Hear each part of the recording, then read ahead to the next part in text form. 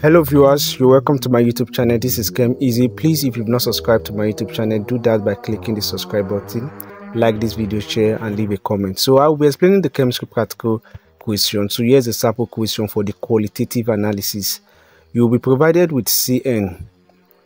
Cn is a mixture of two substances. Is a mixture of copper sulfate a crystalline blue solid and uh, glucose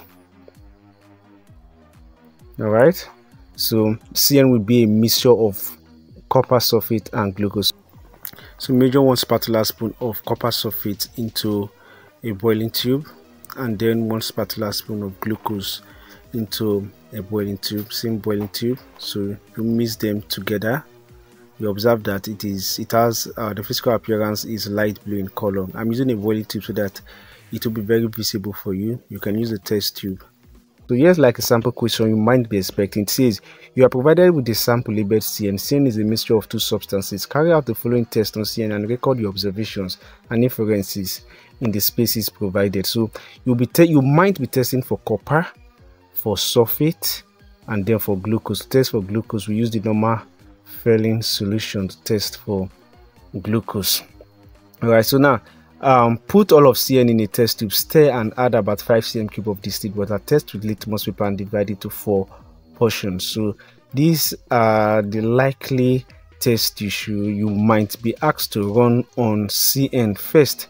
It says uh, CN plus distilled water. Note, CN is a mixture of two substances, copper sulfate and glucose, which are both soluble in water. Alright, so CN will dissolve in water to give a clear light blue solution all right? This light blue this blue color is uh, a characteristic property of copper. It is the copper that gives it that light blue um color all right? So cn is soluble in water. Now if you test cn with litmus paper it will turn blue litmus paper to red because of uh, cn uh, copper sulfate is a sort of a strong acid. So it will turn blue litmus paper to red. So the solution is acidic so make an aqueous solution of CN, you will observe that it will dissolve to give a light blue solution. So CN is soluble salt.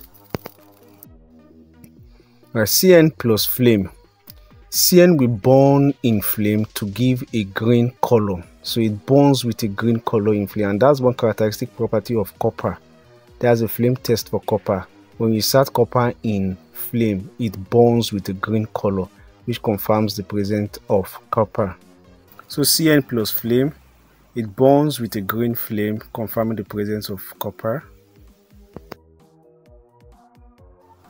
And then Cn plus sodium hydroxide in drops.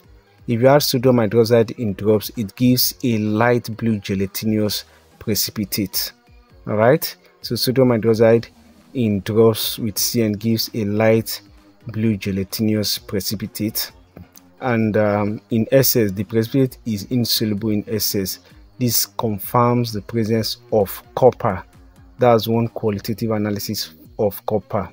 So we'll go further by dividing CN into four different test tubes. I'm using a welding tube so that it will be visible for you. Then to the first one, we add sodium hydroxide in drop. You observe a light blue gelatinous precipitate. Alright is a light blue gelatinous precipitate which is insoluble in SS, confirming the presence of copper.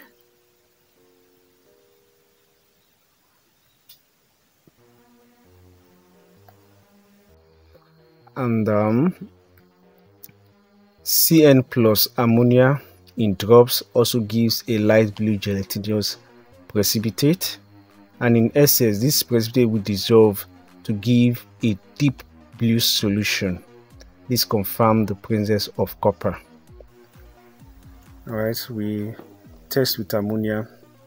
Ammonia in drops gives a light blue gelatinous precipitate. Then in SS, it dissolves to give a deep blue solution.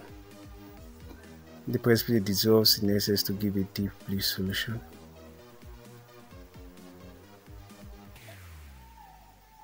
As you can see then this other test here is test for sulfate Alright, first CN, you add dilute hydrochloric acid to CN. The function of adding it first is to remove interfering ions. And after that, you add barium chloride. When you add barium chloride to the solution, it this barium combined with the sulfate to give you barium sulfate, which is a white precipitate. Alright, it gives you a white precipitate. Alright, so the inference is uh, this white precipitate could be as a result of sulfite, sulfate, sulfide, or um, carbonate. Now, to further confirm if it's as a result of any of these, you add dilute HCl, which in addition of um, dilute HCl, the precipitate is insoluble, confirming the presence of sulfate. So CN plus little quantity of HCl to remove interfering ions. And then we add barium chloride in drops. It gives a white precipitate. Which you can see this white precipitate is insoluble in excess dilute HCl which confirms the presence of sulfate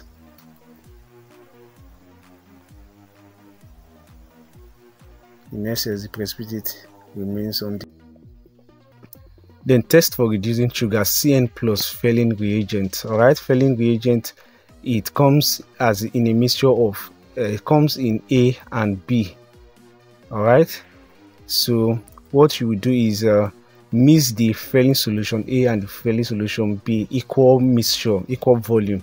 So you can take like 10 or 15 cm cube of Fehling solution A and 10 cm cube of Fehling solution B and add them together.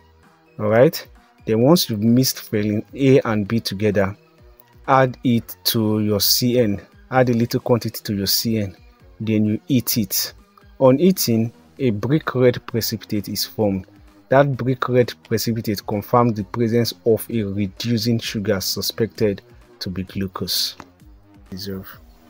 So this Fehling solution a measure 10 cm cube of it also with Fehling solution b measure at 10 cm cube of it, we mix it together to test for reducing sugar.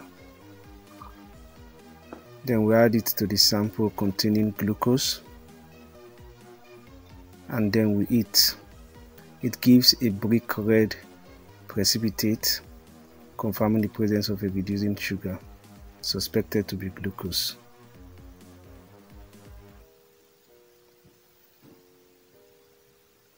Thanks for watching. Please subscribe, like and share this video.